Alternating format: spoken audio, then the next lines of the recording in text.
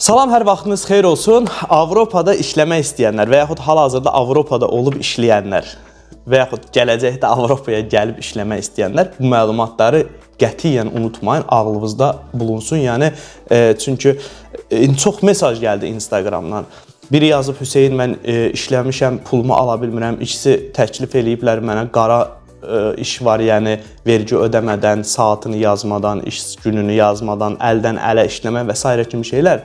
Bunlardan birincisi uzaq qaçın, ikincisi ki, indi sizə nədən uzaq qaçın, bunun sizə nə kimi zərərləri var, onları izah edəcəm. Avropada hər zaman işçi qıtlığı var, yəni bunu unutmayın. Yəni digər videolarda demişəm də uzun-uzun üstündə danışmaq istəmirəm. Avropada hər zaman işçi qıtlığı var. Özəlliklə həftə sonları Avropalılar işləmək istəmirlər. Bunun üçün e, daha çox yazanlar Almaniyada restoran, yəni servis sektorunda işləyən insanlardır.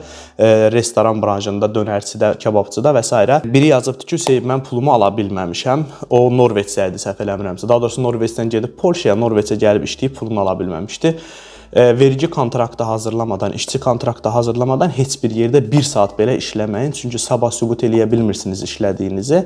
Çıxıb gedərsiniz, pulunuzu ödəməzlər, heç bir şey də eləyə bilmərsiniz. Amma sənədləriniz yerindəcə, yəni kontraktınız varsa, işçi kontraktınız və vergi kontraktınız varsa, sizin bir dəqiqəvizin belə pulunu işlətməciniz verməməzlik edə bilməz. Yəni buna görə çox rahat olmağınız lazımdır. Çünki e, məsəl üçün indi Almaniyada da burdakı Arbeitshüsine kimi yer var. Yəni Norveçdə var, işçi haqqlarını qoruyan, işçinin maaşına baxan və s. kimi şeylər.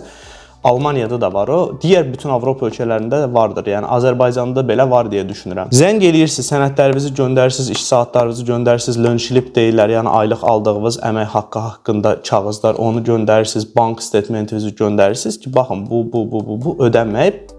O işlətməciyə 2 həftə vaxt verirlər. Ya bankrot olur, yəni iflasa sürürlər o restoranı, ya da sizin pulunuzu o gün ərzində ödəməlidir. Yəni bunun üçün belə bir stressiniz olmasın. Mən gəldim, kontraktım var, işləyirəm, hər şey qaydasındadır, mənim pulumu vermədilər. Belə bir şey yaşaya bilmərsiniz. Yəni bunun yaşanma ehtimalı %0-dır. Yəni mümkün deyil. Yəni yaşansanız belə 2 həftə vaxtla o pulu geri alırsınız o işlətməcidən ya da e, belə deyək də sizə məsəl üçün 1500-2000 evro verməlidir. verə bilmədiyi üçün məkanını bağlayacaq. Yəni ifla iflasa sürəcəklər ki, yəni maaşını verə bilməyən bir iş yeri niyə işləsin ki? E, ikincisi yadınızdan çıxartmayın.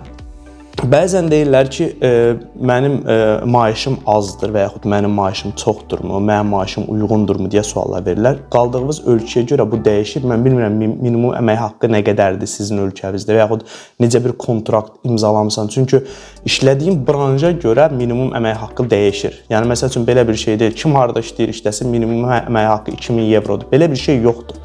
Yəni məsəl üçün e, bir yerdə ofisiant ola bilərsən, bir yerdə baş şef pover, yəni e, mətbəx şefi ola bilərsən. Yəni bunların minimum əmək haqqısı çox fərqlidir.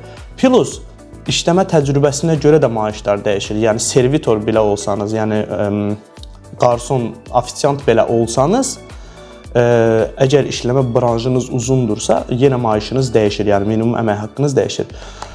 Heç kim əslində gedib işlətməcisindən və yaxud birindən soruşmamalıdır. Mən nə qədər maaş almalıyam? Məsəl üçün Norveçdə Riksavtale var. Açırsan, baxırsan, mən məsəl üçün 8 ildir işləyirəm, Fran branşında işləyirəm. Mənim minimum, minimum əmək haqqım bu qədərdir. Bunun üçün sübuta da ehtiyacınız yoxdur. Yəni ilk gəldiyiniz gün işlədiyiniz, yəni aylıq lönşilib verirlər sizə, yəni maaşınız haqqında bilgi. O kifayət eləyir ki, siz artıq göstərəsiniz ki, mənim bu qədər təcrübəm var. Yəni bitdi.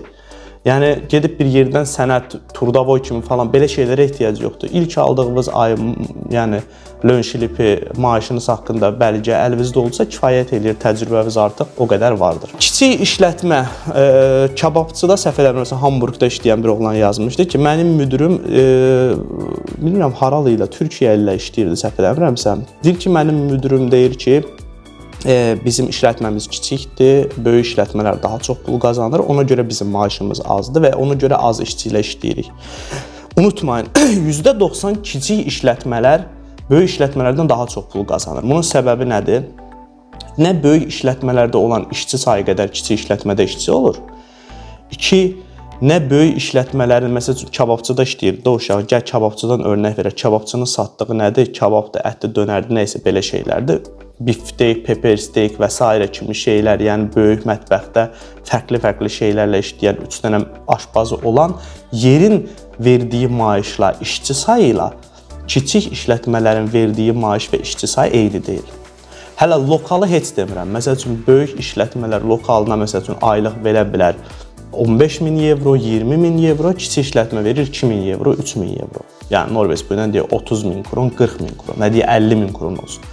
Ona görə qətiyyən kiçik işlətmələr kiçikdir deyə az pul qazanır kimi bir bəhanələrə də inanmayın. Çünki kiçik işlətmənin e, bayaq dediyim kimi və nə verdiyi maaş böyük işlətmələrin verdiyi maaşla eynidir, nə işçi sayı böyük işlətmələrin işçi sayı ilə eynidir, nə verdiyi vergi böyük işlətmələrin vergi e, vergi pulu miqdarındadır, nə də lokallarının kirayə pulu böyük işlətmələrlə kiçik işlətmələrin eynidir. Ona görə də bir kiçik işlətmə məsələn günlük 1500 evro və yaxud 1000 evro ə, kassası varsa, 5000 evroluq bir böyük işlətmənin kassasından daha çox gəlir əldə etdiyinə inana bilərsiniz. Bu %90 belə olur. Yəni 10% fərqli-fərqli şəhərdən kənar və yaxud ə, hətta işlətməci, yəni oranın sahibi özü işləyərsə, daha çox pul qazanır. Bunun üçün bu bəhanəyə də inanmayın, çünki bu da yalan ola bilər. Maaşımı e, kəsdilər və yaxud vermədilər dərdinə düşənlər isə heç vaxt belə bir şey ola bilməz. Sizin edə biləcəyiniz tək şey budur. Kontraktsız, yəni qara yolla heç kimin yanında işləməyin.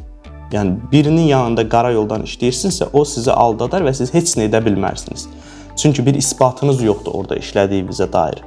Ancaq vergi kontraktınız, işçi kontraktınız olarsa, artıq sizin bir qəpiyiniz, bir dəqiqəvizin pulunu belə verməməzlik edə bilməzlər. Çünki e, dediyim kimi iki yol olur e, sizə maaş verənin önündə. Ya sizin maaşınızı ödəyəcək, ya da məkan iflasa sürüləcək, yəni bankrot olacaq. Yəni bu iki yoldan biri. İndi şokolad fabrikləri falan haqqında yazmısınız. Onlar haqqında da məlumat verəcəm sizə.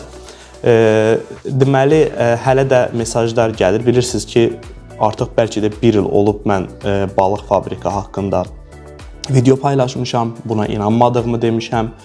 Hətta mesajlarda yazıblar, kommentlərdə Hüseyn gedən var.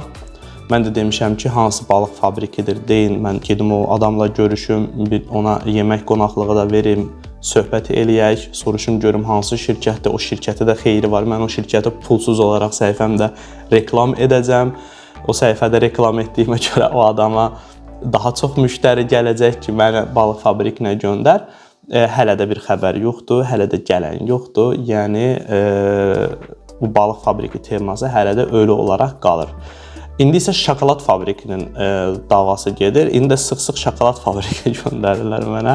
Baxın, balıq fabrikinə dediyim hər şey şokolad fabrikinə də keçərlidir. Sabah birisi gün başqa bir fabrik çıxarsa, onlara da keçərlidir. Yəni bu mövzu üstündə çox danışmaq istəmirəm. Kanal artıq çökür o o məsələlər üzündən. Onun üçün e, qətiyyən bu haqqda daha çox uzatmaq istəmirəm. Balıq fabrikinə dediyim hər şey digər fabriklərə də, gələcəkdə çıxacaq fabriklərə də keçərlidir. Çünki Mən e, realist biriyəm. Mən verilən sözlərə deyil, e, icraata baxıram. Yəni nə olur, nəticəyə baxıram. Hələlik yoxdur. Hələlik sıfır, hələlik hər şey yalandır mənim gözümdə. E, gələk iş tapmaq məsələsinə. E, baxın, sıx-sıx yazıblar ki, mənə ən asan yol necə mən işçi kimi gələ bilərəm Norveçə. Baxın, Norveçə işçi kimi gəlmək üçün e, bəzən girirlər YouTube-da məsəl üçün mənə, Instagram-da mənə yazırlar. Mən bir şirkət deyiləm. Mən bir aşpazam və aşpaz olaraq işləyirəm. YouTube eləyirəm, vaxtım olanda video çəkib paylaşıram. Mən də bilirəm ki, necə video çəksəm millət pat tökülüşər, yəni kanal partlayar. Yəni onun fərqindəyəm. Yolda əllərinin içinə bir şokolad qoyub qızın əlinə yumruq atıb verirlər şokoladı, o belə milyonlarla izlənir. Bunu mən də eləyə bilərəm. Mənim dərdim belə bir dərd deyil. Mən insanları bilgiləndirmək istəyirəm. Az olsun izləyicim, amma normal və faydalı şeylər öyrənsinlər deyə paylaşımlar edirəm. Gedə bildiyiniz hansısa bir Avropa ölkəsinə keçə bilərsiniz. O Avropa ölkəsinin pasportunu almağa çalışın, orada yerləşməyə çalışın. Yəni bu qədər adam gedir, necə gedirlər? Yəni Latviyaya gedərlər, Litviyana gedən var, Estoniyaya gedən var, nə Polşaya gedən var. Yəni millət gedir yəni bir uzdan ə, gedirlər. Bunun üçün siz də bir yerə gedib işçi kimi, hədəfiniz Norveç, İsveç, Danimarka, Finlandiya, İslanddırsa belə Gedəndə məsəl üçün Polşaya gedin, Latviyaya, Litvaya gedin, oranın sənətini alın, hətta pasportunu almağa çalışın. Baxın, bu dəqiqə nə qədər türk var, gedir Bulqaristana, Bulqaristandan Bulqariya pasportu alır. Pasportu almaqda bilirsiniz, Bulqaristanda hələ də rüşvət keçərlidir, bəzi yerlərdə rüşvət işləyir deyə gedirlər rüşvətlə Bulqar pasportu alırlar. Bulqar pasportu aldıqdan sonra axır artıq sənin üçün yaşıl işıqdır. Get istəyirsən İsveçdə iş tap, işlə, istəyirsən Danimarkada iş tap, işlə. Yəni bunları eləyirlər. Bizim gənclərimizin gedə bilməmə səbəblərindən biri odur ki, girirlər YouTube-a məsəl üçün mənim kanalımı deyək də, yəni şimdi antireklam eləyəcəm, bırax öz reklam, öz antireklamımı eləyim, başqasına zərər verməyim. Girirlər, qaqa e, Danimarkaya nətər gedə bilərəm? Heç vaxt gedə bilmərsən. Ya belə bu bundan gedə bilməyəcəksən.